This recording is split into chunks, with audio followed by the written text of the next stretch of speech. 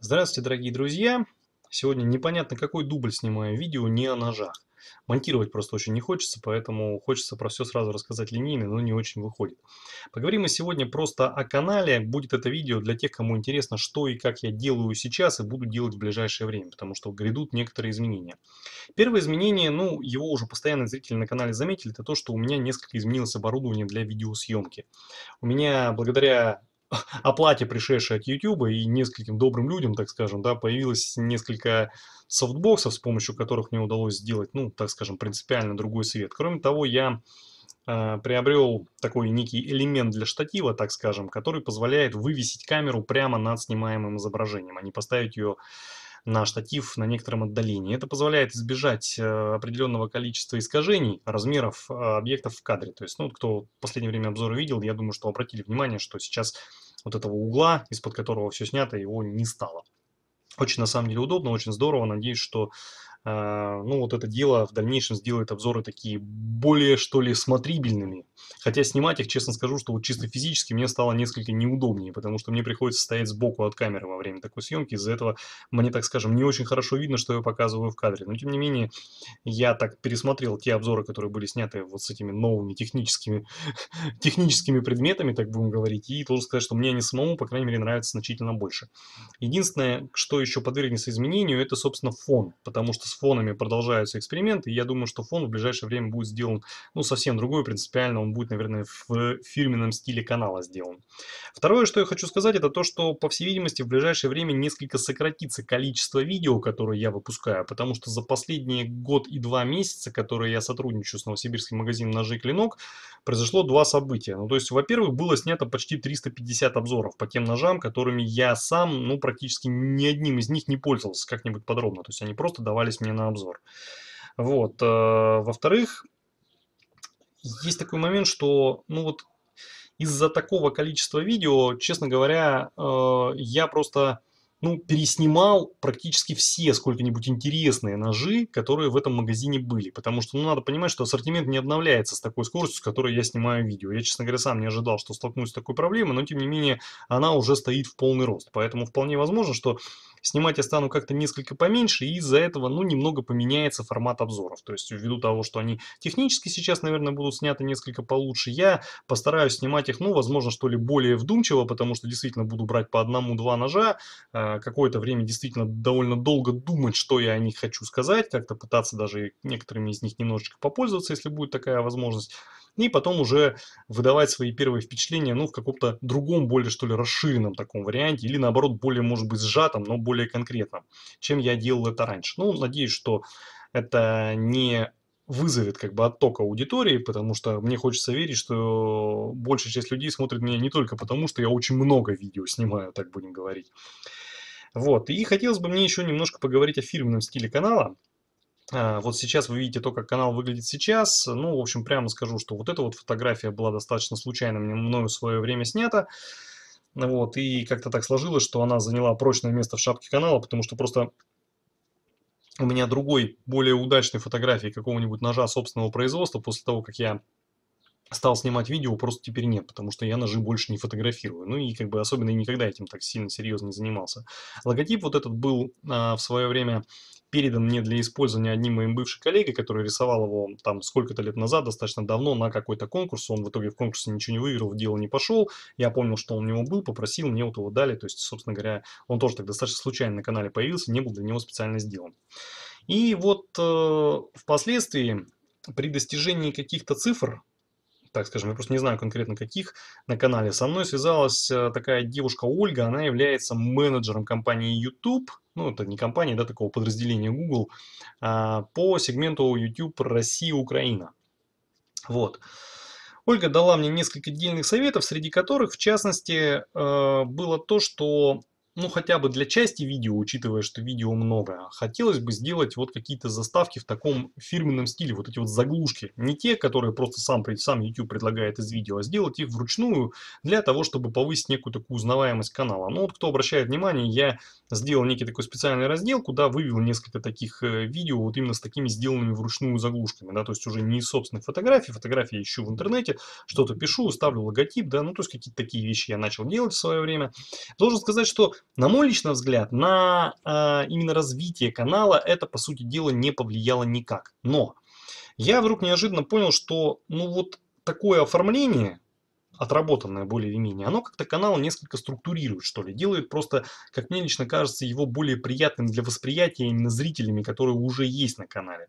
Им просто приятнее, что для них это как-то делают, оно все такое более или менее однообразное, систематизированное, как-то это все ну, достаточно удобно. По крайней мере, мое собственное возникло такое впечатление. И тогда меня начали посещать мысли о том, что, может быть, обратиться к какому-нибудь знакомому веб-дизайнеру, с людьми, которые как-то более-менее ловки в обработке изображений на компьютере, да, как-то с ними пообщаться и разработать какой-то некий фирменный стиль канала, то есть чтобы логотип, там шапка, какие-то вот эти вот заглушки, они все были сделаны в каком-то едином стиле, как это бывает на хороших таких коммерческих каналах, потому что, ну, я вот такие вещи люблю, я более того скажу, что я, пускай на административной должности на какое-то время работал в веб-разработке когда-то, и поэтому, ну, мне как-то захотелось, чтобы мой канал выглядел вот так вот достаточно хорошо. Вот. Э, и, в общем, наверное, я бы так и сделал, но в этот момент произошло еще одно событие, которое несколько изменило мое мнение. Э, дело в том, что Алекс Венинул в тот момент опубликовал у себя на канале э, такое видео о появлении видеозаставки у него на канале. Он там рассказал, какая то заставка, и в частности рассказал, кто ее сделал. Мне заставка Сашина очень понравилась, и тут я подумал, что вот, собственно, классная идея заключается в том, что надо бы разработать видеозаставку, а вот уже на ее основе благодаря тому, что там будет, разработать фирменный стиль канала. Вот, э, собственно говоря, тогда же под этим видео э, обозначился Сергей Синицкий, который руками, собственно, делал ту заставку на Сашином канале по Сашиной идее, да, так будем говорить, и предложил с ним связаться всем желающим сделать подобные заставки, если им это интересно. Вот, собственно, вот это вот его канал, так вот он выглядит, да, и вот у него здесь Сашина заставка тоже есть. Я тогда с Сергеем связался, мы с ним быстро достаточно договорились об условиях, на которых он это будет делать. И, скажем так, за некоторое время придумали, ну, так скажем, некую идею заставки, как она должна выглядеть. А, идея нам показалась такой достаточно интересной, но мы в какой-то момент времени просто несколько, наверное, нам показалось, что ее достаточно просто будет реализовать, но не тут-то было. Дело просто в том, что в заставке должен был фигурировать складной нож, который пролетает через кадр, так скажем, да, его достаточно хорошо видно. И Дело в том, что для этого, как выяснилось, нужно будет сделать э, полную объемную модель этого ножа. Вот. И как оказалось, ну, когда речь идет о складном ноже, не так это просто и не так быстро сделать. Особенно учитывая то, что занимает, занимается только в свободное время, которого у него, в общем-то, ну, не так и много, так будем говорить. Вот. Но, тем не менее, э, было потрачено некоторое время, и мы в конечном итоге э, получили ну, так скажем, заставку, и некоторые уже элементы фирменного стиля стали проявляться. То есть элементы фирменного стиля, так будем говорить, в каком-то виде появились несколько раньше самой заставки, поэтому вот некоторые особо внимательно уже обратили внимание, что у меня вот появились местами вот в заглушках вот такие вот штуки. Я уже в двух местах их тут использовал, вот здесь и здесь. Вот, и, наверное, подозревали, что что-то должно подобное произойти. И вот э, я сегодня хочу сказать, что с определенной гордостью, так скажем, хочу показать вам вот эту видеозаставку, которую я сегодня на YouTube загрузил. Вот так она примерно будет выглядеть.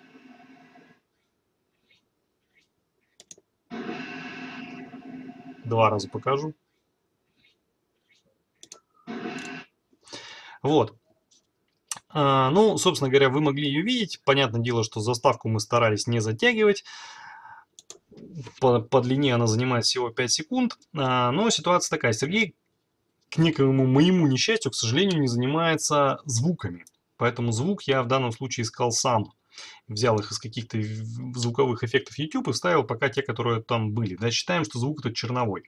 Поэтому, зная, что все-таки у меня ну, достаточно значительная есть аудитория подписчиков, бросаю такой клич, потому что мне нужна помощь. К сожалению, все люди, которые с которыми я сам когда-то, когда я еще был совсем юн, занимался музыкой так или иначе, бросили и заниматься так же, как и я.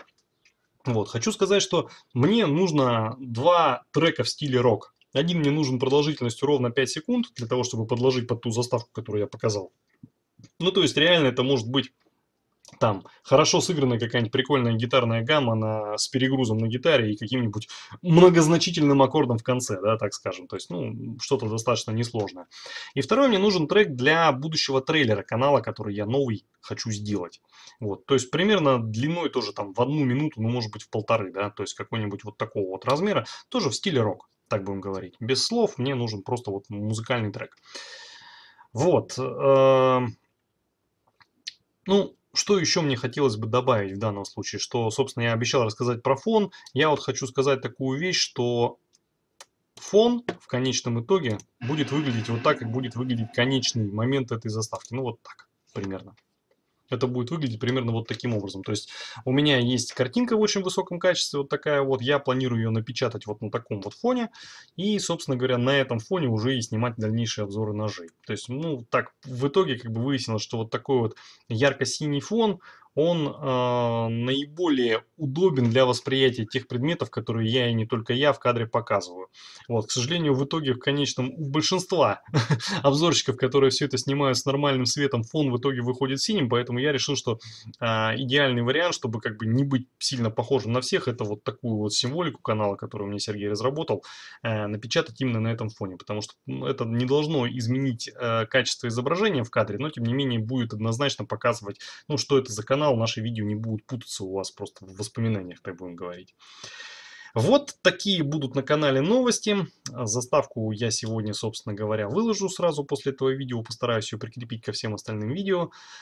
А, ну а фирменный фон, я надеюсь, что появится в течение ближайшей недели. Такая вот и у меня для вас информация. Надеюсь, что вам это было интересно узнать. Большое вам спасибо за то, что смотрите мой канал. Большое спасибо за просмотр этого видео. Пока.